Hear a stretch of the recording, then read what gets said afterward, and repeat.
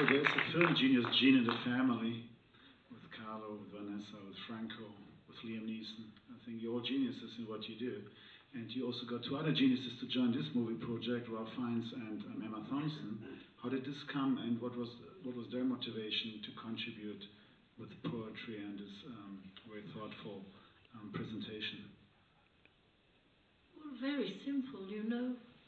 Most of the people we know in our milieu um, are very uh, involved with doing what they can.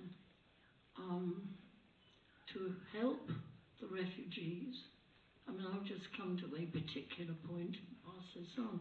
I mean, they said yes as soon as we said, I sent to Emma, could she read this piece, which was a letter written by a woman who fought for the right to vote for women in England, Sylvia Pankhurst. And she wrote this letter in 38, and I got hold of the old newspaper with it.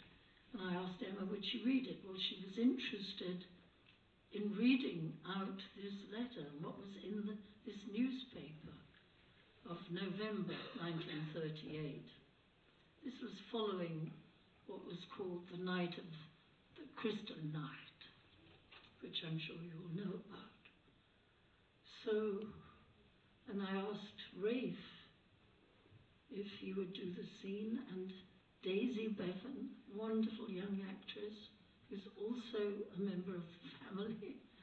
Carlo's wife is a brilliant, brilliant actress and supreme voice teacher.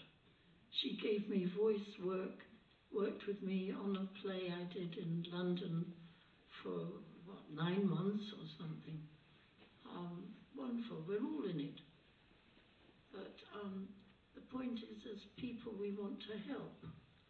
And I found in my life that wherever you go, if you say to people, listen, this is what's happening, and this is what I'm trying to do.